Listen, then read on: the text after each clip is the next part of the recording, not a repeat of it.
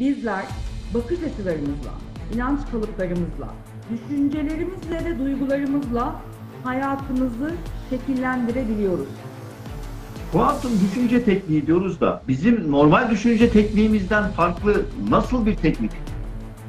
Yani ben değersizsem evet bana yeterince değer göstermeyen bir e, ilişkiye, bir dostluk ortamına, hatta bir iş ortamına ya da işte değersiz olduğuma inandığım için e, çalıştığım işte bana hak ettiğimi tam olarak vermeyecek bir patrona bilinçaltımız değişmeden sadece düşüncelerini değiştir demekle bir insanın bütün düşünsel yapısını değiştiremez.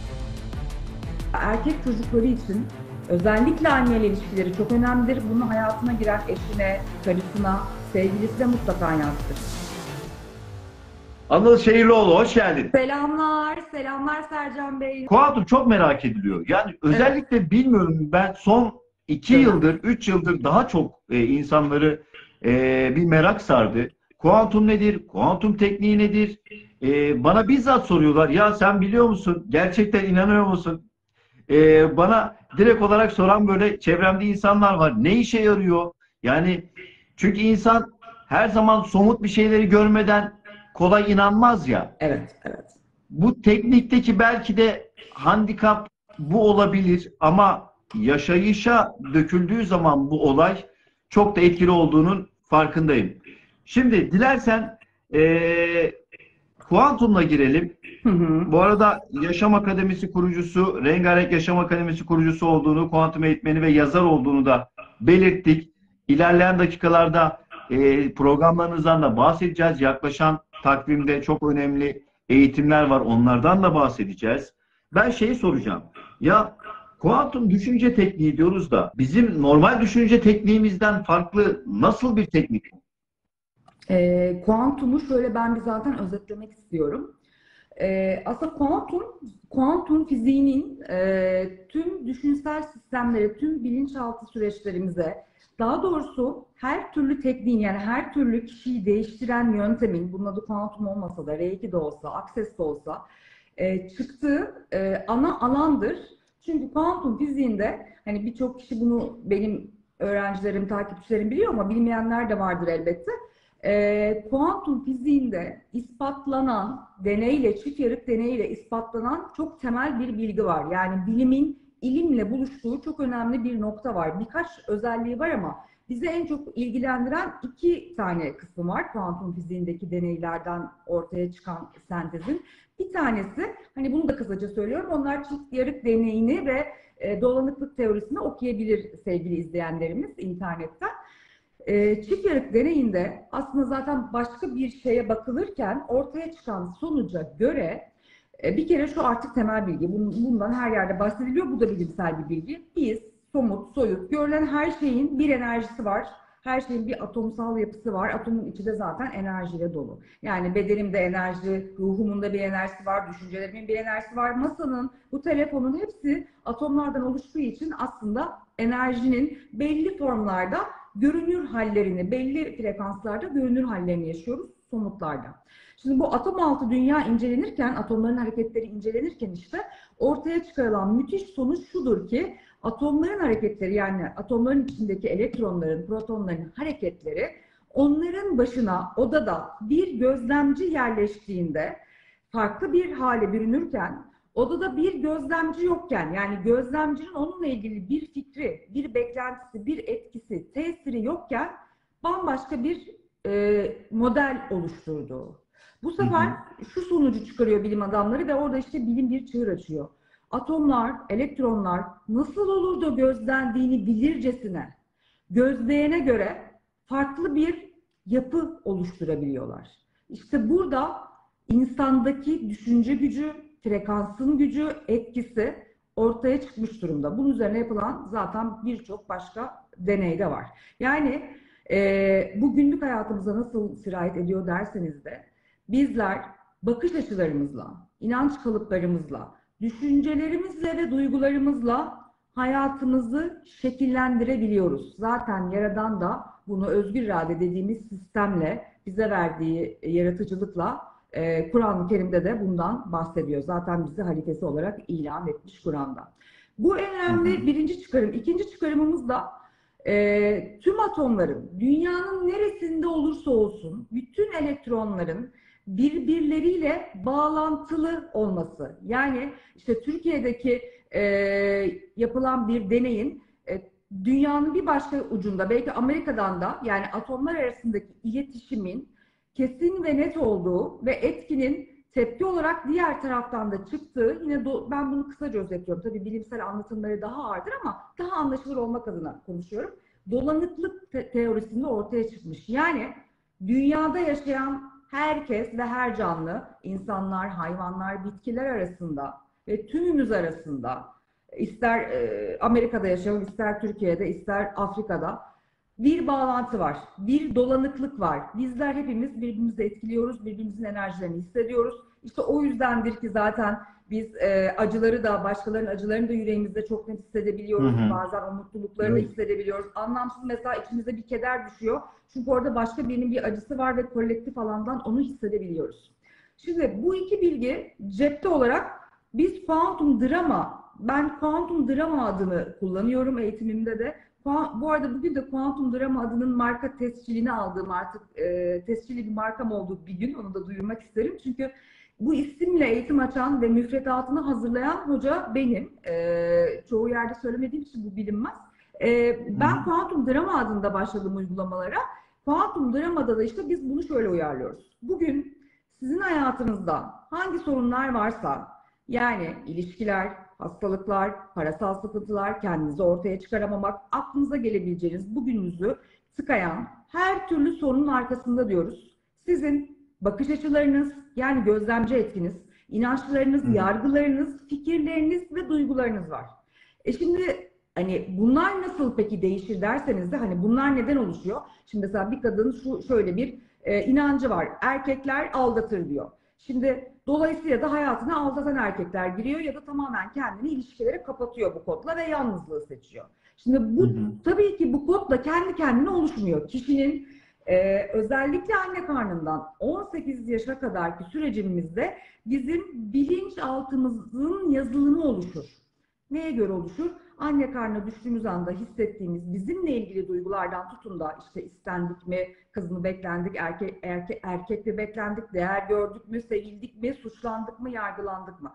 Buradan daha başlarız ve o 18 yaşa kadar annemiz ve babamız ya da bizi büyüten kimse anneanne dede, o iki rol model ya da tekse tek kişi onunla beraber yaşadığımız süreçte e, edindiğimiz inanç kalıpları, anne baba arasındaki ilişkiyle alakalı yine e, inanç kalıpları, durumlar, parayla ilgili aile sistemindeki inanç kalıpları, bunlarla beraber biz de kendi tekamül yolculuğumuza göre de bir yazılım oluşur. Ve e, 18 yaşımızdan sonra da bu yazılımın artık sonuçlarını yani kadersel döngümüzü başlatırız ve sonuçlarını yaşamaya başlarız. Yani kehaneti haklı çıkarırız. Ne demek bu? Nelere inandıysak kendimizle ilgili de öyle. Ben dersi olduğuma mı inandım? Ben yetersiz olduğuma mı inandım? Ben başarısız olduğuma mı inandım? Ben her şeyi düzeltmek benim görevimdir'e mi inandım?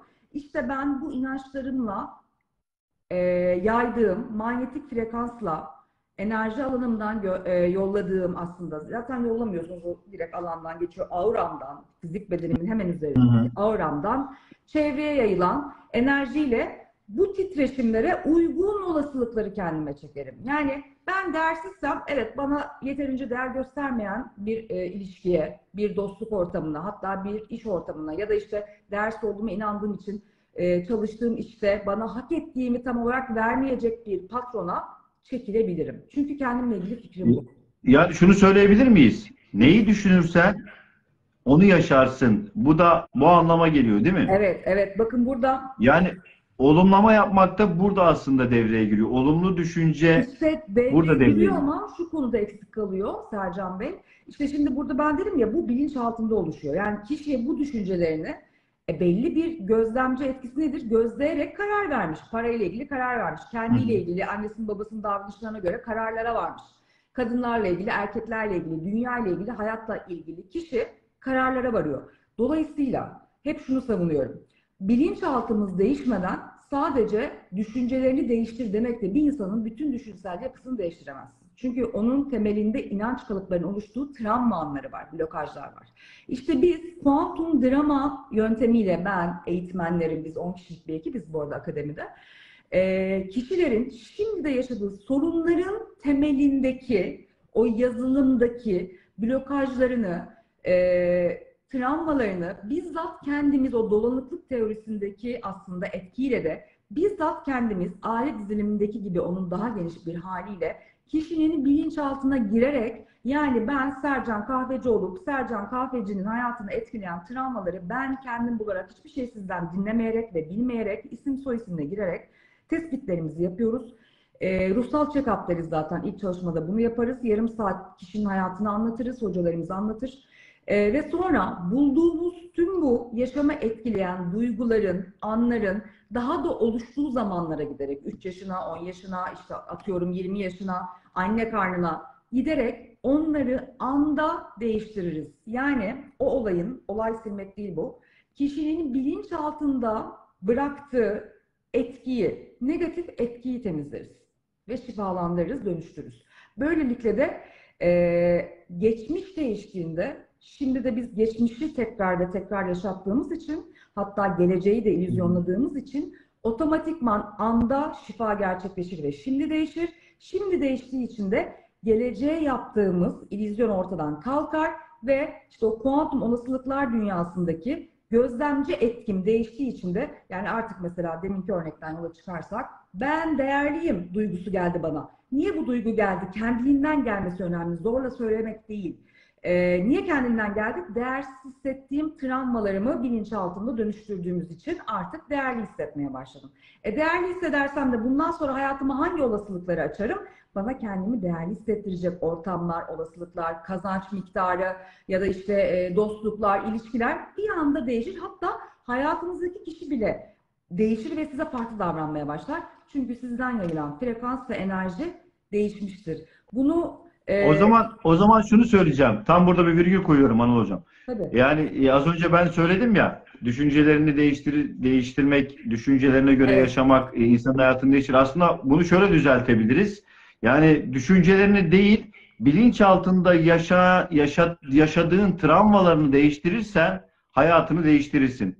Çok güzel Böyle diyebiliriz. Aynen öyle de bunu hatta şu sözle bu sizin anlatımınızı pekiştirmek isterim. Ünlü psikiyatr Can şöyle demiştir. Psikiyatr ve bilinçaltını eee aslında ilk defa da derinlemesine rüyaların önemini araştıran ünlü bir yazar ve psikiyatrdır. Eee bilinçaltının gücünün farkında olmayan kişi başına gelen her şeyi kader zanneder, yazgı zanneder diye belirtmiştir. Yani bu ne demek? İşte ben bilinçaltımın etkisinde negatif olaylar yaşadığımda bunu bir kader, işte bir kadercilik temasıyla e, olması böyle nasipmiş diye zannediyoruz. Oysa Yaradan ne demiş İsra suresinde? Biz herkesin kaderini kendi çabasına bağlı kıldık. Bakın burada ne diyor? Yani kaderin üzerinde etkin var. Çabana göre kaderini etkileyebilirsin. Yani demek ki Yaradan bize mutlak bir kader çizmemiş. Ana hatlarıyla çiz, tabii ki çizdi ama bizim bu kadere e, etki etkimiz var. İşte nere, ne etkiliyor kaderimizi? Bilinçaltımızdaki yazı. Yani bu yapıyı değiştirirsen de kendi kaderini kendin e, değiştirebilirsin diyorsun. Kesinlikle. Şimdi Ben bilinçaltı yaşadığım, konusu- yaşadığım için çok net yani hastalığımdan tutun. Ben önce kendi üzerimde denemeden hiç kimseye zaten başkalarına bir uygulamaya da geçmem. Bu çok önemli. Yani ben ben de bu çok önemli. Ben de e, işte e, yayını aldığım kişilerle fırsat buldukça e, çalışmalarını izleme, ofislerine gitme imkanı buldukça gidiyorum. E, onlarla vakit geçirmeye çalışıyorum. Vallahi Çünkü bu çok önemli bir şey. eğitimimize bir gelseniz aslında ne güzel olur. Bu Konuşalım hafta sonu evet 20, 22, 23, 24 Aralık'ta e, İstanbul'da aslında. İstanbul. Beylikdüzü'nde. Evet evet İstanbul Beylikdüzü yeni sınıfımız başlıyor. Le- Level 1 eğitimimiz başlıyor. Ee, siz de bekleriz. Gelin konuğumuz olun. Çok İnşallah bakalım e, şimdi programa göre hareket edeceğiz. Yir- 22 hangi cuma cumartesi pazar mı oluyor hocam? Evet, Cuma, Cumartesi, Pazar gerçekleşiyor eğitimimiz. Ee, bu ilk seviyede biz kişileri yani gelen öğrencilerimize bir kere bilinçaltı okuması yapmayı öğretiyoruz. Bunu öğreten tek eğitim zaten, kuantum drama eğitimi. E, yani ne yapmayı öğretiyoruz? Kişiler demin nasıl dedim ben Sercan Kahveci oluyorum ve onun bütün blokajlarını anlatmaya başlıyorum diye. İşte bunu yapmayı öğreniyorlar. Bununla beraber yine kişilerin hayatlarında en çok tabii ki önemli faktörler ve sorun yaşadığı kişiler anne, baba, eş, sevgili ya da geçmişte kalan bir ilişki ya da çocuklarıyla ilgili e, birazdan tabii bahsedeceğiz karma çalışmalarını ya o ilişkiler ilişkileri ilişkilerdeki bağları dönüştürmeyi ve yine mesela biri diyelim ki e, Anıl oluyor, biri de alanda anne annemi temsil ediyor ve bu iki kişi önce birbirlerine e, alanda öyle değişik başlıyor ki ne yazık ki işte uzak ilişkiler ya da işte kırgınlıklar, hayal e, kırıklıkları, kalp kırık- kırıklıkları bir sürü şey karşılıklı konuşulmaya başlanıyor. Ama sonra sonra tabii ki bizim uyguladığımız bazı teknikler ve yöntemler var. E, bu diyelim ki Tebur'da başlayan e, Anıl ve annesiyle e, arasındaki ilişkiye bakarsak bu mutlaka sarılıp böyle kavuşarak gözyaşları eşliğinde biz birbirimizi gerçekten anladık ve birbirimize neyi öğretmek, göstermek istediğimizi fark ettik E, ve sevgiyle sarıldık. Yani bu tam olarak bu cümle olmasa da böyle bir e, her bağ bu şekilde dönüşüyor. Bunu nasıl yapacaklarını da öğreniyorlar. Hemen alanda uygulamalara başlıyorlar ve yine ee, sadece bilinçaltı değil, beynimizde de bizim negatif blokajlarımız kayıt oluyor yine anne karnından başlayarak amigdala gibi, sürüngen beyin, hipokampüs gibi alanlarda ve ilkel beyin toplamında şu arka tarafımızda, beynimizin arkadaki kısmı aslında. Ee, oraya da oraya da ulaşıp oradan da yine travmaları, duyguları bulmayı ve anda bu bulduklarını dönüştürmeyi üç günlük eğitimin içinde öğrencilerimiz öğreniyorlar ve hem kendilerine hem sevdiklerine herkese e, ister sadece kendisi için gelsin, ister sevdikleri için gelsin, ister daha profesyonel alana geçmek için gelsin. Bütün bunları hem kendine hem diğerlerine uygulayabiliyor oluyorlar ve Sertifika veriyorsunuz değil mi? tabii hem de uluslararası kalite standardında e, uygulayıcılık sertifikası alıyorlar ve hemen uygulamaya e, başlıyorlar zaten. Peki bu yeterli oluyor mu 3 günlük eğitim? Ee, Günlük eğitim bu süreç kaç saat gerçekleşiyor mesela? Çok, uzun sürüyor. Yani 11'de başlıyoruz akşam 8'e kadar. Yani Hmm. sa- 9 saat kadar sürüyor ama bu ilk temel eğitim zaten. Bunun daha hı. derin boyutu bilinçaltında geçmiş hayatlara kadar giderek travmaları bulup dönüştürmek ve farklı yöntemlerimiz var tabii. Mesela Anıl Şehirlioğlu ile Dönüşüm Yolculuğu adı altında YouTube'da ben uyguladığımız e, çalışmalardan paylaşmaya başladım. Hı hı. Hem de canlı canlı orada gelen kişiye uygulayarak. E, oradaki teknikleri level 2 dediğimiz e, ileri seviyede öğreniyorlar. Level 2'ye isteyen tabii ki devam ediyor. İsteyen level 1 ile de yetinebiliyor. E, tabii ki bir ileri seviyesi var. Level 1 başlangıç seviyemiz. Level 2 5 ay sürüyor. 5 ay bir hafta sonu cumartesi pazar şeklinde gerçekleşiyor. Yani her ay bir kez geliyorlar ama iki ders cumartesi pazar. 5 ayın sonunda da e, kuantumun en derin boyutta ve her konuda işlerine yarayacak ve çözüm e, üretebilecekleri teknikleri hem kendilerine yine hem başkalarına uygulayabiliyor şekilde oluyorlar. Çok iyi. Bu arada e, tekrar hatırlatacağız onu zaten. 22, 23, 24 Aralık'ta e, İstanbul Bu Beylikdüzü Hilton Cuma, Cuma başlıyoruz. e, Cuma, Cumartesi, Pazar. Evet. Biz zaten e, bu hafta bu hafta sonu işte. Evet, Cuma, evet, Cumartesi, evet. Pazar.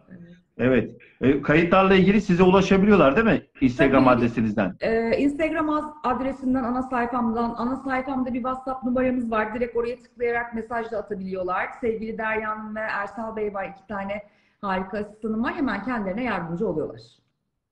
Tabii. Bunu zaten e, dile getireceğiz bir kez daha. Yine çok merak ettiğim bir konu. Gerçekten yani karmalar hayatımızı etkiliyor biliyorum farkındayım. Ben daha önce e, çok e, bu konuda çalışmalar dinledim, e, videoları izledim. E, karmaların hayatımızı etkilediği bir gerçek. İlişki karmaları var. Yani ilişkilerde sadece bu yani bir sevgili mi, bir aşk mı yoksa anne baba ilişkisi olabilir mi? E, hangi ilişkiler, karmalar hayatımızı nasıl etkiliyor? E, ilişki karmaları nedir? Bir de bundan biraz bahsedebilir miyiz? Tabii ki tabii ki. Karma boyutunda dönüşümü zaten level 2'nin konusu derin düzey bir konu çünkü. Ee, geçmiş hayatlara kadar gittiğimiz bir konu. Şimdi karma ama e, geçmiş yaşama inanan var, inanmayan var reenkarnasyona ama ki ben içindeki mucizede bunu Kur'an ayetleriyle açıkladım. Ama yine de sadece şimdiki hayatı bile baz alarak şu kısımda bir açıklama yapmak istiyorum. Ee, karma hayatımızda etkili, başrol diyebileceğimiz kişilerle, evet annemiz, babamız, e, eşimiz olan kişi, uzun bir ilişki yaşadığımız bir kişi ayrılsak bile, işte kardeşlerimiz, çocuklarımız. Şimdi bunlar bizim aslında zaten ruhsal ailemizden. Ruhsal aile demek, biz bu tekamül yolculuğuna, dünya üzerinde bu e, üç boyutlu dünya okuluna gelmeden önce tekamül yolculuğumuz adına yani öğrenmemiz gereken yaşam derslerimiz adına ki bunu da Dünya Okulunda Ruhun Devriminde anlattım 12 yaşam dersimiz var. Zaten amaç bu dünyada. Hani dünyadaki varoluş amacımız işte var olalım da işte evlenelim, çocuk yapalım, çalışalım, sonra emekli olalım, e, sonra da işte yaşlanıp ölelim gibi bir sistem değil. Ruhun tekamül etmesi, öğrenmesi gereken dersleri öğrenmesi, e, Yaradan'ın ondan olmasını istediği varlık olabilmesi adına biz bir sürü aslında Dünya Okulu'nda öğrenim gören ruhsal varlıklarız. Belli derslerden geçiyoruz. Şimdi bu dersleri e, geçebilmek için de bize rol model olacak ya da aynalama yapacak ya da öğretecek ilişkilere ihtiyacımız var. Bunlarda en temelde dediğim gibi anne baba, kardeşler, eşler, ilişki uzun yaşadığımız kişiler ve çocuklar oluyor. İşte biz onlarla aslında ruhsal alandan daha dünyaya bedenlenmeden önce ruhsal alandayken tanışıklık içinde oluyoruz ve onlara ruhsal aile diyoruz ve o ruhsal ailemizden kişilerle de ki altını çizerek söylüyorum size en çok üzen kişi de sizin ruhsal ailenizden olabilir. En çok seven, mutlu eden kişi de ruhsal ailenizden olabilir. Çünkü neden biz dünyada birbirimizi üzecek anlaşmalar, roller içine giriyoruz? Tekamül dünyada ancak zıttıyla var oluyor. Yani ilk defa cinsiyet kavramının da insanlık sisteminde olması gibi ruh cinsiyetsizdir. Kadın erkek diye ilk zıt kutupları ayrılmıştır. Yani kişi öğrenmesi gereken bir algıyı, yani ışığı öğrenmek için işte karanlıkta karanlığı bilmesi gerektiği gibi sevgiyi öğrenmek için sevgisizliği, değerlilik bilincine geçebilmek için değersizliği, yargısızlığa geçebilmek için suçluluğu, bunların hepsini öğrenmesi gerekiyor. Kişi Hı hı. ona bunları gösterecek aynalar olmadan bunları öğrenemez. Nasıl ben şu an yü- yüzümde ne var bunu öğrenmek istiyorsam ya kameraya ya aynaya bakmak zorundayım değil mi? Bir ayna olacak ki işte kaşım düzgün mü, saçım düzgün mü görelim. İşte bunları görebilmek adına annemizle, babamızla başta olmak üzere önemli kontratlarımız ve sözleşmelerimiz var. Bunu şimdiki sistemde de anlatırsam eğer bir ilişkinin ilk başladığı anda anneyle anne kardeş, işte babayla baba bizi ilk kucağına aldığı andan diyelim. Ya da işte eşimizle ne zaman tanıştıysak, çocuğumuzla ne zaman evlat sahibi olduysak. Hı hı. İki kişi arasındaki ilişki ilk ne zaman başladıysa oradan şimdiye kadar birbirleri hakkındaki her türlü negatif düşünce, negatif etki, yargılar, tüm bunlar ilişkide bir karma etkisi yaratır. Yani ilişkinin dengesini ya da ilişkinin içeriğini etkiler ve değiştirir.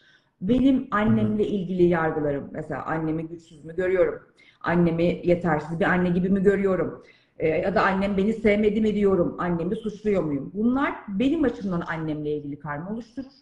Annemin de benimle ilgili ne tür negatif bir söyleme, inancı, duygusu varsa o da benimle arasında bir karma oluşturur.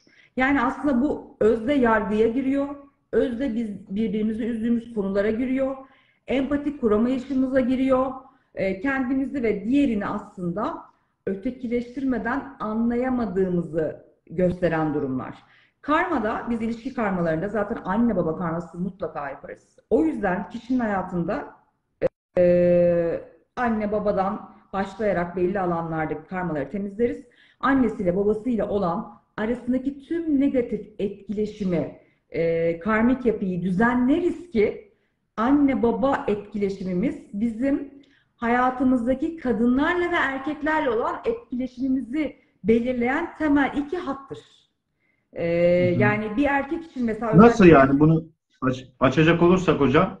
Evet yani benim şu anda mesela erkeklerle ilgili bakış açım e, ya da kadınlarla ilgili bu bakış açım annemle ve babamla yaşadığım ilişkiye göre şekillenir. Yani babamda ne varsa hoşlanmadığım ya da sevmediğim ya da kendimce yargıladığım işte karmasına girdiğim ya ona be- tamamen benzemeyen bir alanda bir birisini seçmeye çalışırım ya da tam tersi sistem beni aynı kişiyle karşılaştırır. İki türlü de aslında sarkacın diğer ucu gibidir. Ee, dönüşmesi gereken şey benim önce babamla olan bu yargısal süreçlerimdir. Yani hayatımızdaki mesela erkek çocukları için özellikle anneyle ilişkileri çok önemlidir. Bunu hayatına giren eşine, karısına, sevgilisine mutlaka yansıtır. Ha, babayla da etkileşimi önemlidir ama karşı cinsle olan ilişki, e, bir kız çocuğu için baba, erkek çocuğu için anne, onun karşı cinsle olan ilişkisini çok derinden etkiler. Yani ne yapıyor burada mesela bir erkek çocuğu? Anneden aşırı pohpohlandıysa diyelim ki, e, her şey ayağına geldiyse aynısını karısından da bekliyor ya işte annemin devamı olsun ki her şeyimi önüme getirsin ben e, aslanım havasına giriyor. Bu sefer kadın arasında tabii ki problemler çıkıyor. Çünkü bir kadın ona e, hizmet etmek, her şeyin önüne getirmek durumunda asla değil. Çünkü onun annesi de değil, karı koca olmak ayrı bir kavram. İkisinde farklı sorumlulukları var. E, ama ya da e, anneden sevgi görmeyen bir erkek de tamamen e, sevgiyi alabilmek için biraz daha böyle çocuksu kalabiliyor. Eliyle özelliklerini, e, yapabilirliklerini tam kullanmıyor. Hani böyle kadın tarafından yönetilen bir e, ilişkiyi de seçebiliyor. Hı hı. Yani yönetimi kadına bırakıyor. Maddi ve manevi anlamda biraz daha e, eşinin ya da karısının alanından beklentileri yüksek olabiliyor. Ne oluyor? Her iki türlü bu ilişki etkileniyor. Evet, yani aslında e, annelerimizin veya babalarımızın çocukken bize karşı gösterdikleri davranış şekli bizim ileride çocuklarımıza karşı göstereceğimiz davranış şekline ayna görevi görüyor. Eşlerimize de, e, hayatımıza giren Evet. e, kişileri de mesela benim annem hep beni şöyle tembihlerdi. İşte mesela bu değişmeden ve bunu aldığım kişi anne olduğu için anne karması yapılması gerekiyor. Hep Hı hı. derdi bana Sercan Bey benim babam e, annemle ilk evlendiklerinde memurmuş ama sonra yıllar sonra kendi işini kurup parasal anlamda da çok daha büyük adımlar atmış. Ama ne yazık ki ondan sonra da aileyle bağını çok koparmış. Yani dışarıda bir hayat yaşamaya başlamış. Bir sürü travmalar var. Bizde de, annemde de. İşte bunları ben e, Allah'ın izniyle dönüştürdüm. Dönüştürmediğimde varsa dönüştürmek için elimden geleni yapıyorum. E, annemin şöyle bir öğretisi vardı hep. Kızım sakın e, evleneceğin kişi zengin, paralı olmasın. Çünkü paralı erkek işte aldatır, gözü dışarıda olur, aile ailesiyle iletişimini kurmaz. Zaten işte onu e, diğer kadınlar da bırakmazlar gibi. Çünkü babam da bunları yaşadığı için kendince beni korumak adına hani daha mazbut birini seç ki hani işte atıyorum bir memur olur bir bir şey. Hani yuvanda huzurun olsun. Ve ben bunun sonradan şunu fark ettim. Ben hakikaten daha parasal anlamda güçlü erkeklerden hem çok korkuyordum. Asla karşılarında yani erkekten para kesinlikle maddi bir güç hiçbir zaman beklemedim. Hesabı bile kendime öderdim. Hani bir erkeğin egemenliğine girmemek. Çünkü annem bir de babamın egemenliğindeydi maddi olarak. Ve e, sanki bütün zengin erkekler kötü. Ben asla e, hiçbiriyle ilişki kurmamalıyım. Gerçekten de hep ilişkide olduğum e, kişilerde belli bir maddi oranda kalma. Hatta hani benden daha az kazanma e, hali oldu. Çünkü blokaj bu bakın. Şimdi bu hem benim bilinçaltımdan temizlenmeli hem de bu kodu bende annem bu alanda ilk derin bir şekilde aynaladığı ve öğrettiği için annemle karma dönüşmeli ki benim bu alanım açılsın. Bu alanı nasıl etkiler biliyor musunuz? Eşimin para kazanmasını bile etkiler. Aslında hep deriz ki işte eşim çok kazansın, bana hediyeler alsın, sürprizler yapsın. Bilinçaltında ki hayır eşin çok kazanmasın. Bak çok kazanırsa seni aldatabilir. Bak dışarıyla işte gezer tozar, dışarı hayatı başlar, evinin huzuru kaçar. O yüzden benim her zaman bilinçaltı kazanır. Bilinçaltımda bu enerji olduğu müddetçe eşim gerçekten para sorunları yaşar. Yani Çok enteresan, aslında çok enteresan bir noktaya değindim burada. Evet. Yani e, senin e, annenle yaşadığın, annenin sana yaşattığı travma senin ileride birlikte olacağın kişiyi seçmene ve hatta seçtikten sonra onun yaşantısını etkileyecek boyuta varmaya bile neden olabiliyor. Tabii. Ama mutlaka zaten o kişinin içinde de böyle bir blokaj vardır. Yani hep e, eşleşmeler bu şekilde olur. Yani mesela benim bu, bu blokajım değişmeden benim hayatıma para kazanma konusunda daha hırslı olan, daha işte önde olan biri giremez. O enerjiye çarpışır birbirimizi Hı hı. iteriz. Yani mutlaka daha mütevazi kalan, daha e, hani hedeflerini daha e, belki küçük tutan potansiyeli olmasına rağmen çok da potansiyelini kullanmayan biri girer ki biz bir arada kalabilelim. Çünkü benzer benzeri çeker her zaman. Bakın benzer Evet. benzeri çeker. Dolayısıyla inançlarımızda bir benzerlik olmalı. Ama ne demek istedim? Diyelim ki ben böyle bir ilişkiyi seçtim ama artık hayatımdaki eril bir uyanışa geçti. Dedi ki ya benim şu kadar yıllık deneyimim var, bu kadar potansiyelim var. Ben artık daha büyük hedefler koydum önüme. Yani daha çok ilerleyeceğim, daha çok kazanacağım, daha çok öne çıkacağım dedi. Diyelim ki başladı ve parayla ilgili blokajlarını düzeltti.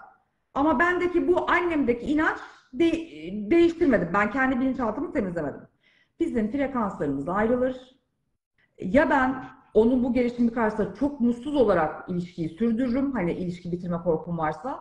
Genelde de aslında bu ilişki tamamen kopar. Yani frekans tutmaz artık ve işte ayrılık, boşanma adı her neyse bu gerçekleşir. Yani kişilerin eee bir çiftin mutlu bir hayat sürmesi için benzer olan frekanslarını keşfedip dönüştürerek birbirlerine aynalık esmeleri gerçekten birçok ilişkiye bakın. Benim ilişki karması, bizim ilişki karması yaptığımız danışanlarımızın çoğu özellikle talep edenler, boşanmak üzereyken e, ilişki karması talep edenler oluyor işte eşleriyle falan. Kesinlikle boşanmıyorlar. Tam tersi e, yıllardır aradıkları mutlu, huzurlu ilişkiyi yaşamaya başlıyorlar. Çünkü ikisinin o alandaki frekansları yani bir kişinin değiştiğini zaten diğer kişiye de sirayet ediyor. O da buna gönüllüyse o enerjiyi alıyor ve e, birlikte büyümeye başlıyorlar. O yüzden ben her danışana derim ki sakın ilişki karması almadan ve kendi blokajlarınızı dönüştürmeden bir boşanma kararı almayın. Her şey değişebilir. Ki siz değişmezseniz boşansanız bile hayatınızda size benzer şeyleri yaşatacak bir başka kişi gelir. Yani e, içimizde ne varsa dışımızda onu yaşıyoruz.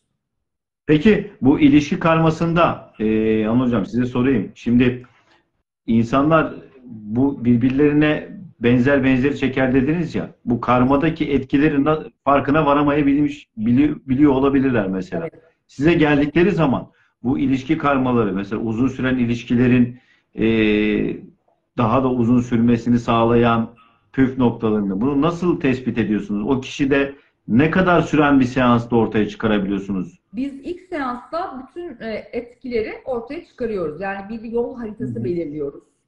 Ee, sadece ilişki bazlı olsa bile kişinin kendi duygularının da dönüşmesi için değersizlik gibi, işte hak etmeme gibi, yetersizlik gibi, istenmeme gibi biz e, tüm danışanlarımıza zaten konusu ne olursa olsun ortalama 8 çalışma öneriyoruz. 8 bireysel çalışma Hı-hı. öneriyoruz. Ama ilk, ilk çalışmalarında bütün bilinçaltı analizleri zaten gerçekleşiyor. Karmalar tek bir uygulamadır. Yani bir eşiyle karma yaptığımızda asla bir daha ikinci karmayı yap, yapmayız. Gerek olmaz ama karmayı oluşturan kendi duygularına da çalışmak isteriz ki bütüncül ve tekrarlanmayan bir dönüşüm ve iyileşme gerçekleşsin. Yani kişinin yazılımını komple değiştirmek isteriz. Bunun için de eşiyle bile sorunu varsa anne baba karması da yapılması gerekir. İşte e, eşiyle o problemi yaşamasına sebep olan kendiyle ilgili inançları, işte kendini dediğim gibi e, suçlu mu hissediyor, yetersiz mi hissediyor, kendine güvenmiyor mu, e, değersiz mi hissediyor? Ki e, içindeki mucizeyi lütfen alıp okusunlar ve içindeki uygulamaları da yapsınlar. Oradaki duygular, duygular orada bahsettiğim temel 8 duygu var. Bizim bütün hayatımızı parasal olsun, ilişkisel olsun, hastalık açısından olsun etkileyen temel duygular. Onları da dönüştürmek adına ortalama biz herkese 8 e, çalışma almasını öneriyoruz. Ama değişimleri ilk çalışmadan itibaren zaten başlıyor. Ama bir de değişime ayak uydurmak istemeyenler var. Yani konfor alanını terk etmekten çekinenler veya e, terk etmek istemeyenler de diyebiliriz buna. E, bunlar yani neden biz insanlar olarak değişime direnç gösteririz? Değişim aslında bizim için çok faydalı olacakken bile. Evet, evet kesinlikle. Yani o kadar önemli ki Sercan Bey sorunuz. Ee, bu arada şunu söylemek istiyorum. Aşağıda da soruyu gördüm. Biz bütün bireysel bu danışmanlıklarımızı Hı. tamamen online yapıyoruz arkadaşlar. Kimse akademiye gelmiyor. Telefon bağlantısıyla gerçekleşiyor. gerçekleşiyor. Biz sizin bilinçaltınıza girdiğimiz için yanımızda olmanıza ihtiyacımız olmuyor. Ee, o yüzden dünyanın her yerinden ki şu anda biz ortalama günde 15-16 çalışma yapıyoruz. Hocalarımız da dediğim gibi 10 kişilik bir ekibiz. Oldukça da yoğunuz. Ee, yıllardır da bu şekilde online şekilde dünyanın her yerine Allah'ın izniyle katkı elimizden geldiğince oluyoruz. Şimdi bu kadar vaka... Tam, tam burada e, şeyi sorayım aslında. Hazır e, online üzerindeki eğitimlerden bahsederken 27 Aralık'ta bir e, önemli bir gün var. Sirius kavuşması var.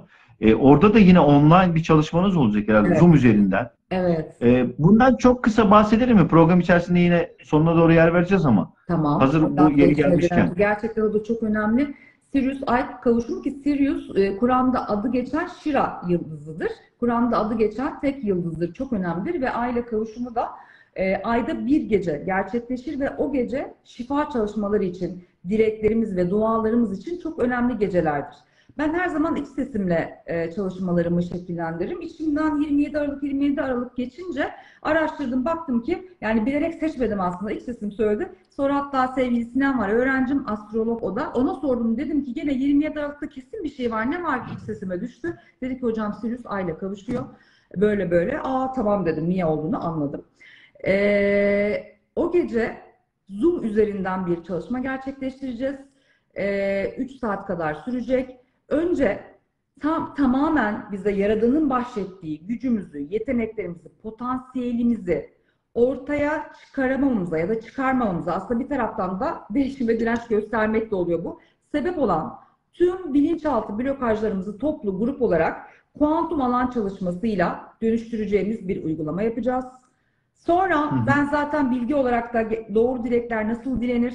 E, Yeni yıla giriyoruz, yeni dileklerimiz, isteklerimiz var yeni yıldan. Nasıl cümleler kurmalıyız? Bu bilgiyi verdikten sonra herkesin dileklerini yazmasını isteyeceğim, bir ara vereceğim. Yazdıkları dileklerin üzerine bir enerji aktivasyonu yapacağım. Ee, işte kendi kanallarımla, kendi enerjimle bildiğim şifa yöntemleriyle diyelim. Ve e, sonrasında da e, çalışmayı yine toplu olarak bir enerji, dilek ve e, dua, niyet çemberiyle e, tamamlayacağım. Çok derin ve özel geçeceğini bildiğim, inandığım bir e, çalışma olacak. Ve herkesin hemen hemen herkesin katılabileceği de hani buradan tabii Nasıl katılacaklarını sormuşlar var. hocam. Ee, yine benim Instagram'da ana sayfamdaki WhatsApp numaramızdan ulaşabilirler e, ofisimize. Ee, benim Instagram'ıma DM'den de yazabilirler. E, Numaramız 0538 048 4089 ama şimdi aklınızda tutamazsınız muhtemelen. Ana sayfamda WhatsApp numarası diye tıklayınca direkt mesaja düşüyor zaten. Ee, oradan ulaşabilirsiniz, kayıt yaptırabilirsiniz sevgili canlar. Tek gece olacak, tekrar da yok. Ben yaptığım bir çalışmayı aynısını tekrar etmiyorum. Hep farklı farklı konulara geçiyorum. O yüzden e, nacizane yeni yıla girmeden önce ben de kaçırmamanızı tavsiye ederim. Yani, Ve- yani zaten Sirius Ayla da her gece kavuşacak değil. Bu fırsatı kaçırmasınlar Tabii, yani değil tabii mi? yani gece çok önemli zaman, çok önemli ve yeni yıla Evet. yeni bir enerjiyle girmek gerçekten çok önemli ki yeni yılınızın akışı buna göre şekillensin, gözlemci etkiniz değişsin. Artık şu yeni yılda herkes gerçek potansiyeliyle ortaya çıksın, görünür olsun. İşte bunun altında da tabii ki demin sizin sorduğunuz e, soruyu da açmak lazım. E, biz Evet. ya- Yaradan'ın bize bahşettiği bu kadar güzellikler, bu kadar halifem diye duyurduğu bir e, kıymetli yani e, düşünsenize meleklerine yaradan ne demiş? Ben e, yeryüzünde halifemi yarattım. Yani insanı yaratırken ve önünde secde edin demiş. Melekler secdeye varmış. Düşünün yaradanın insana gösterdiği kıymeti, değeri, verdiği niceliği ve niteliği. Ama biz şimdi yaradanın yeryüzündeki halifesi gibi mi yaşıyoruz? Hayır. Nasıl yaşıyoruz? İşte çaresiz, hastalıklar içinde, işte maddi yoksunluklarımız oluyor ki ben bunlardan dibine kadar da geçmiş bir insanım. Hani e, hastalıkta çok yaşadım, parasızlıkta çok yaşadım. Dediğim gibi travmalarla dolu da bir çocukluk hayatım var. İşte tacizinden tutun da birçok şey. E, Onları ama- hocam önümüzdeki bölümler içerisinde ben e, bizzat e, YouTube'da sizle e, birebir bir program yaparak konuşacağım inşallah. Yani onlara da bir değinmek isterim. E, çünkü e, o konuların da çok önemli olduğunuzu hatta bu yola adım atarken sizi yönlendirdiğini düşünüyorum. Tabii. O yüzden de bunları ayrı bir şekilde konuşacağız inşallah. Tamam, konuşalım. Ee, işte bu e, yani bu bilinçle yaşamadığımız için ve yaşam derslerimiz olduğu için çok acı şeyler yaşıyoruz. Fakat bilinçaltı alıştığı acıya ya da yaşadığı acıya, yaşadığı ortama tutunma eğilimi gösteriyor. Çünkü bildiği o. Yani e, tanımı o. Hani bir tanımı var. Mesela ben değersizim diyorsa gerçekten kişi değerlilik tanımını bilmiyor. Ee, ve ona aslında değer gösteren bir kişinin verdiği değeri de algılayamıyor. Çünkü öyle bir algıda seçiciliği yok. Öyle bir duygu tanımı yok. Tam tersine alışkın. Bu her şey için geçerli. Ve Ee, biz işte eğer alıştığımızın, bildiğimizin her ne kadar orada mutsuz da hissetsek, şimdi aslında bu güvenlik alanı, konfor alanı dediğimiz yer mutlu olduğumuz bir alanda değil. Gerçekte güvenli bir alanda değil. Ama e, insan in- insanın şöyle bir yapısı var. Hem yeniyi merak eder hem de alıştığının dışına çıkmak istemez. Yani ezberini bozmak istemez.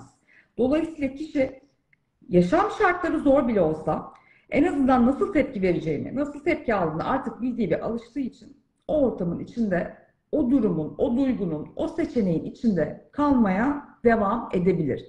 Mesela hani daha ağır bir, hani daha net travmatik bir örnek vermek gerekirse babasından işte dayak yiyerek, şiddet görerek büyüyen bir kız çocuğu yine ne yazık ki kendine şiddet gösteren bir erkeğe çekilebiliyor. Çünkü bildiği ve tanıdığı duygu bu. Yani kendini artık buna layık gördüğü için. Çünkü baba bunu yaptığı için bunu tabii ki zihnen yapmıyor. Bunu bilinçaltı yapıyor. Ve inanın e, o yüzden de razı geliyor. Yani e, başka bir alana geçmek mesela belki boşayabilir, belki başka bir olasılık yaratabilir ama bu onu o kadar çok korkutuyor ki en azından onunla başa çıkmayı öğreniyor ve devam edebiliyor. Ve çok etkili bir film vardır bu konuda. E, filmin adını unuttum ama kölelik sistemini anlatan o eski dünya dönemindeki kölelik e, dönemlerini anlatan bir filmde Spartaküs'tü dizi Netflix'teydi. E, şu sahne beni çok etkiledi çünkü biz bunun gerçekliğini de çalışmalarımızda görüyoruz. E, kölelerin bir gece işte oradan kaçmaları için e, onları kurtaran e, birisi var. Spartaküs bütün işte e, şeylerin, e, zindanların kilitlerini açıyor ve herkesi serbest bırakıyor. Bir grup kaçıyor özgür olmak için işte. Ama bir grup diyor ki hayır diyor biz bizi hiç açma e, biz burada kalacağız. Nasıl yani diyor neden çıkmıyorsunuz işte diyor çıkma fırsatınız var özgürlüğünüze kavuşma fırsatınız var. Yani biz özgür olup da yaşamayı bilmiyoruz ki biz birine hizmet etmeye alışmışız. Yemeğimizi oradan almaya alışmışız. Hani o şartlarda yaşamaya alışmışız. Dışarıda ne yapacağız? Bu bize şu anda daha korkunç geliyor. Bizi lütfen alma yani gidin siz biz buradayız diyor ve gitmiyorlar. Biz bunu işte alışmış olduğumuz her türlü kalıbın içinde yapabiliyoruz. Mesela parayla ilgili belli bir e, gelire alıştıysak bakın çok istediğimiz halde bunu yine kendimden de yola çıkarak söyleyebilirim. E, fazla para karşısında ne yapacağını bilmezsem ya da işte fazla param olursa benden talepler artacak, daha çok şey istenecek, sorumluluklarım artacak, e, hata yapma riskim artacak gibi düşün- düşüncelerimiz olduğu için aslında biz bununla ilgili değişime bile direnç gösterebiliyoruz. Mutsuzluğa alıştıysak mutlu olmaya direnç gösteriyoruz. Çünkü zannediyoruz ki mutlu olursam başıma daha kötü bir şey gelecek. İşte belki çok gülme ağlarsın demiş birisi. O da ben baştan ağlayayım ki bari sonradan bilmediğim daha büyük bir şey çıkmasın. Tabii yine bunlar bilinç düzeyinde olmuyor. Hepsi bilinçaltı düzeyde oluyor. Yani biz e, alıştığımız ev değiştirdiğimizde de öyledir mesela. Çoğu zaman ev değiştirsek, Hı hı. işte yıllardır çalıştığımız işimizi değiştirdiğimizde, işte eşimizi değiştirmeye kalktığımızda tabii ki çok büyük bir her ne kadar e, istesek de adım da atsak ki bazen atamıyoruz bunları düşünüp e, bir korkuya kapılırız, bir endişe, bir işte stres, bir kaygı hali yaşayarak değişebiliyoruz. Çünkü şundan da korkuyoruz. Değişirsem ya kaybedersem, ya yalnız kalırsam, ya beni sevmezlerse, ya şimdikinden daha iyisini bulamazsam, yani mesela işinden memnun değil, artık bıkmış gitmek istemiyor ama e, ya buradaki işte e, olanakları da arar bir duruma gelirsem, ya parasız kalırsam gibi gibi birçok şey ko- korkumuzla Hep de olumsuz ama. Hep Hep, de olumsuz. olumsuz düşünün. hep biz zaten Yani kork- bir- bir- korkuya alış- alışmışız. Yani bize korku Ya- üretilmiş. Hani bize Yani kor- korkuyla ilişkimizde besleniyor. bile- Evet ama öyle Yaradan'la ilişkimizde bile bize şey öğretilmedi ki Yaradan bizi koşulsuz sevendir. Ee, sen ne yaparsan seni affedendir, tövbeni kabul edendir, Yaradan'lısın. Bize hep şu öğretildi. Yanlış yaparsan cehennem ateşlerinde yanarsın. Sen kendi Yaradan eli sopalı bir okul müdürü de e, direkt hani bir şey yapanın ellerine vuruyor gibi sürekli e, hiç affetmiyor gibi. Biz böyle korkularla büyüdük. O yüzden Yaradan'ı da hep kendimizden uzak bildik. Halbuki ben şimdi çalışmalarımla ya da işte artık edindiğim bilgilerle yaşadığım farkındalıklarla biliyorum ki gerçekten Kur'an'da yazdığı gibi ne demiş? Ben size şah damarınızdan yakınım. Ya Kur'an'da bu yazıyor ama bize anamız babamız sanki dünyanın dışında bir yerden bizi gözlemliyor da işte kötü bir şey yapana şak diye vuruyor gibi anlatıyor. Bu özellikle bizim toplumumuzda çok yaygın. Biz bunu da mesela Çok- dönüştürüyoruz bilinçaltından. Bu çünkü yaradan Evet, ilişkimizi çok etkiliyor. önemli. hayatla ilişkimizi etkiliyor, insanlıkla ilişkimizi etkiliyor, kendimizle ilişkimizi hep kendimizi günahkar zannediyoruz mesela. İşte Adem'le Havva'nın durumundan. Ya günahkar değiliz ki. Yani e, ruhumuz tertemiz yaradan ışığından, özünden yaratılmış bir ışık artık. Hani kötülüğü seçen de kendi yolu, iyiliği seçen de, ışığı seçen de kendi yolu ama herkesi genelleyemezsiniz. Ne herkes iyidir diyebilirsiniz, ne herkes kötüdür diyebilirsiniz. Herkes seçimlerinden sorumludur diyebiliriz sadece. Evet yani az önce dedin ya o- şimdi Anıl Hocam e, insanlar anne babası değişik yönlendirebiliyor. Bir de şöyle bir şey var.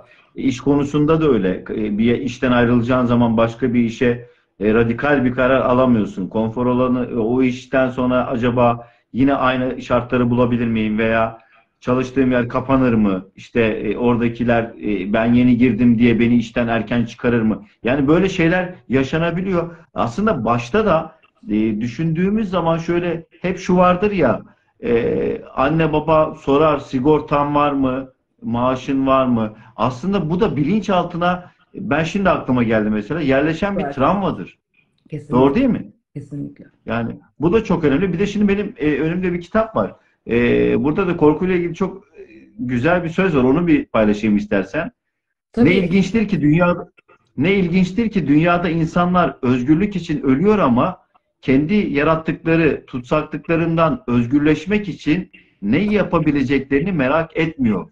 Ay süper, çok güzel e, söylemiştiniz. Gerekli Mutlaka bu çok önemli. at- atmak için gerekli eylem planlarımızı yapıp, işte kendimizi hazırlayıp, varsa kendimizi geliştirmemiz gereken e, yönler ya da işte varsa bu konuda bir bilinçaltımızı dönüştürmemiz gereken inançlarımız, bunları temizleyip sonra kendimizi hangi konuda e, yenilemek istiyorsak, iş midir, ilişki midir ya da yaşa- yaşantı şekli midir, işte ondan sonra yani altyapıyı oluşturup uygun zamanda şartları çok beklemeden biraz riski de göze alarak çünkü ne derler evren cesaretleri sever. Doğru hep cesaretliler e, bir şekilde e, yol alır ve ilerler. Çünkü cesaret edemeyen e, yerinde sayıyor. Ha şunu da söylemek isterim. Her cesaret eden korkmuyor mu? Hayır korkuyoruz. Korkuya rağmen ilerlemeyi seçiyoruz. O yüzden canlar korkmamayı beklemeyin. İnanın böyle bir durum yok. Korkabiliyoruz çok normal.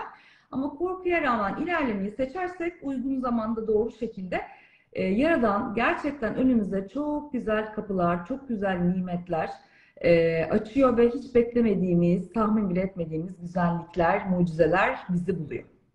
Şunu da söylemek istiyorum Sercan Bey. Şimdi herkes eğitime gelemiyor ya da işte bireysel danışmanlık alamıyor ya da alsalar bile zaten benim YouTube kanalımda çok güzel ve önemli hem çalışmalar var, meditasyon ve şifa çalışmaları, çok önemli bilgi içeren videolar var ve Anıl Şehirlioğlu ile Dönüşüm Yolculuğu diye bireysel çalışma yaptığımız bir serimiz var. Herkesin hatta kendi blokajlarına niyet ederek e, dinlemelerine de ben orada niyetlendim.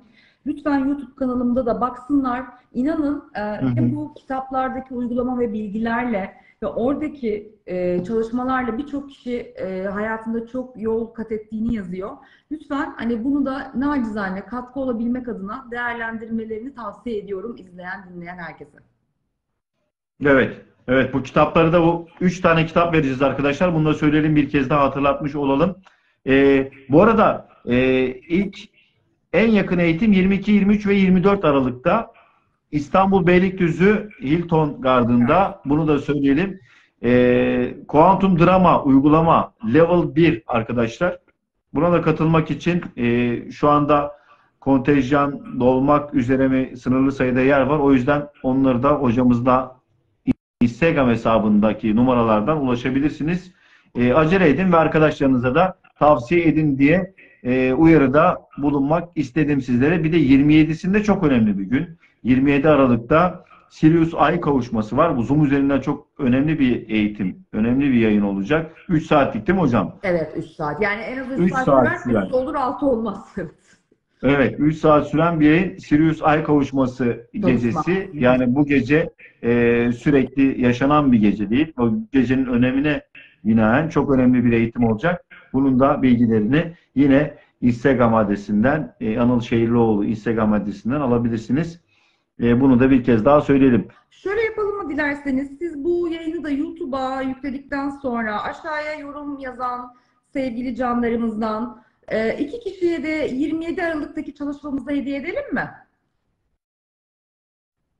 Çok güzel. 27 Aralık'taki Sizden çalışma. İki kişiye Yorum yazanlardan siz bakın, yorumlar yazılsın. Bu yayının altına yorum yapan iki kişiye 27 Aralık'ta Sirius Ay kavuşmasında Ay'a gönderemeyeceğiz belki ama çok güzel bir çok, Çok güzel önemli. bir eğitim Zoom üzerinden çok önemli bir eğitim hediye edeceğiz. Anıl hocamızdan, Anıl Şehirlioğlu'ndan birebir Zoom üzerinden eğitim alacaksınız. Süper. Bunu da söyleyelim. Siz Ee, YouTube yayınını. Evet, Sercan Kahveci ile çıkış. Mutlaka abone olun. Ee, yorum yapan arkadaşlarımız arasından iki kişiye bu anlamlı hediyeyi de Anıl Hocam şu anda ee, göndermiş oldu. Bunu da söylemiş olalım. Bir tane kitabımız vardı, onu da verelim. Toplumsal kitlesel felaketler neden yaşanır ve ee, aslında ne mesaj verir? Bunlarla ilgili neler söylemek istersiniz? E, toplumsal felaketler hani şu andaki dünyanın zaten yaşadığı uzun zamandır ülkemizde de dünyada da yaşanan çok büyük olaylar var. İşte orman yangınlarından depremlere kadar ya da işte e, savaşlara kadar ama özellikle doğal olan afetler işte hani orman yangınları gibi e, ya da yanardağlar gibi son günlerde. yanardağ, aynen yanardağ olayları. Şimdi e, aslında bunların hepsi yani bir kere her ne kadar bazen komplo teorilerinden çokça e, bahsedilse de şunu bilmek lazım. Dünyadaki hiçbir eylem ya da olay ister doğal olsun, ister yapay olsun, ister insan eliyle olsun, ister doğa yapmış olsun. Yaradan'ın izni olmadan yani Yaradan'ın bir sebeple onayı olmadan hiçbir şey dünya üzerinde gerçekleşemez. Bir yaprak dahi kıpırdayamaz. Bunu hiçbir zaman unutmayalım canlar. Ve şimdi tekamül yolculuğumuzda hani de- ne dedik demin? Bizler dünyada öğrenmek üzere bulunan öğrencileriz. Yani ruhun terbiye gördüğü nefsini e, hem de kendi gücünü hem de nefsini aslında e, aşarak bunun ötesine geçip tanrısallığını ve ruhsallığını hatırladığı bir süreç içindeyiz. Şimdi bunlar e, ne yazık ki güzel güzel e, olmuyor. Biz çoğu zaman e, belli olayların içinde kalınca bazı şeylere uyanıyoruz. Yani daha ağır sıkıntılar yaşayınca işte e, normalde atıyorum. Normalde insanlar birbirinin gözünü oyarken işte kendi gibi düşünmeyene, kendi gibi giyinmeyene saldırırken ne oluyor? Ne yazık ki böyle bir felaket oluyor. Herkes bir anda birbirine destek oluyor. Birbirini kurtarmaya çalışıyor. Birbirine yemek götürüyor. Bir arada kalıyorlar falan. Şimdi sistemin bize en çok öğretmek istediği mesaj arkadaşlar bu Kur'an-ı Kerim'de de yazar. Biz tek bir insanlık ailesiyiz ve dünya üzerindeki diğer canlılarla da dünya okulunu paylaşıyoruz. Bizim her birimizin aynı düşüncede, aynı duygu tonunda olması mümkün değil. İstenen ve talep edilen de bu değil. Yani Yaradan bile bizi, e, renklerimizi bile ayrı ayrı yaratmış. Yani siyahımız var, beyaz tenimiz var, buğday tenimiz var. E, dolayısıyla zaten Yaradan bu çeşitliliği koymuş. Yabancı diller koymuş. Dünyanın her yerinde farklı bir dil konuşuluyor. Bunun yine tasarımcısı Yüce Yaradan. Dolayısıyla bizim önce birlik bilincine yani evet aynı fikirde olmayabilirim ama onun varlığına saygı duyuyorum. Yaradan yaratmışsa onun bildiği vardır. Ee, o da Yaradan'ın kulu, o da Yaradan'ın ruhunu taşıyan bir varlık diyebilecek kadar ruhumuzdaki Yaradan veçesini ortaya çıkaracağımız olaylar yaşarız. Yaradan'ın bizimle konuşma yolu bazen içsel bir rehberlik ve histir. Altıncı hissimiz de bildirir. Biz bunları duymazsak ve kendimizi dönüştürmezsek, e, bizden olmamızı beklediği kişiler olmazsak, e, sevgide, birlikte birleşemezsek, bunu ne yazık ki dozu artarak gelen o farkındalık sopalarıyla yaşatır. Yani toplumsal felaketler, büyük olaylar. Der ki uyanın, bakın siz birbirinize muhtaçsınız. Siz yani şöyle, Yaradan varken hiç kimseye muhtaç değiliz ama biz birbirimize zaten Yaradan'ın armağanlarıyız ve e, Evet. e, Yaradan bizimle e, ne yapıyor? İnsanlarla hayatımızda e, yol e, göstericilik yapıyor. E, onlar bize birer nimet E, ve Yaradan katından gelen varlıklar olarak annemiz de babamız da soru yaşadığımız herkes de öyle. E, çok kıymetli ruhlar. Ama şu anda kimisi karanlıkta, kimisi aydınlıkta, evet kimisi kötülüğü deneyimliyor, kimisi ışığı deneyimliyor. E, burada kişinin kendi alanını koruyarak tabii ki kendini e, tabii ki işte hani kötülük yapılıyorsa susun demiyoruz. Elbette kendinizi ve sevdiklerinizi korumak hakkınızdır ama bir de bir özde bir olma bilinci ve yaradılanı Yaradan'dan ötürü sevme bilincine geçmemiz adına biz Yaradan'ın eee, yaşattığı olaylarla aslında evrilmeye, birleşmeye, değişmeye, dönüşmeye çağrılırız. Bu çağrıyı duymadıkça da olayların dozu artar. Yani hani her şerde bir hayır vardır derler ya, doğrudur. Her hastalığın arkasında da bir mesaj ve bir hediye vardır. Almayı, görmeyi seçene. Her negatif olayın arkasında da mutlaka siz görürseniz ya da dönüşürseniz, işte bu bilinçaltı dönüştürmek olur, bakış açısı dönüştürmek olur, kendini yenilemek olur. Mutlaka size getireceği o değişim süreciyle birlikte büyük bir hazine vardır. Yeter ki eee Yaradan'ın izni olmadan hiçbir şey gerçekleşmediğini ve akışta, ilahi akışta her zaman gözetlendiğinizi ve türlü türlü hadise ve olaylarla daha iyi bir versiyonumuza geçmek adına hep sistemin, rehberlerimizin, Yaradan'ın bize bahşettiği meleklerimizle, rehberlerimizle e, denendiğimizi, sınandığımızı ve olaylarla karşılaştığımızı bilelim. Her yaşadığımızın arkasında bu bana ne anlatmak ister? Bu kişi bana böyle yaparak acaba hangi yönümü değiştirmem gerektiğini gösterir. Bu toplumsal olayda benim hangi negatif etkim olabilir ya da bu toplumsal olay bana neyi göstermek istiyor olabilir. Hep söylüyorum. Dünyada savaş var çünkü kendi içimizde savaş var. Kendi içimizde yapmak istediklerimizle, yapamadıklarımızla, olmak istediğimiz kendimizle ama olduğumuz kendimizle bir savaşımız var. Dünyada depremler var çünkü bizim içimizde depremler var. Biz e, travmadan travmaya geçerken çok büyük tepkimeler yaşıyoruz, çok büyük çalkalanıyoruz, sallanıyoruz ve her mesela değişim anlarında kişiler deprem rüyaları görür. Çünkü deprem değişimin habercisidir. Değişime direndikçe de ne yazık ki depremleri bile etki edebiliyoruz. Bunların farkında e, olamıyoruz. Ya da biz bazen dünya adaletsiz bir yer, dünya haksızlıklarla dolu, kötü insanlar var. Keşke olmasalar dediğimizde mesela kötü olanlar için. Keşke olmasalar dediğimiz anda o dünya nüfusunu azaltmak isteyen o hani etkili olan aileler var deniliyor ya işte onların Evet. amaçlarına farkında olmadan karanlığın amaçlarına göre bir frekans yaydığımızı fark etmiyoruz.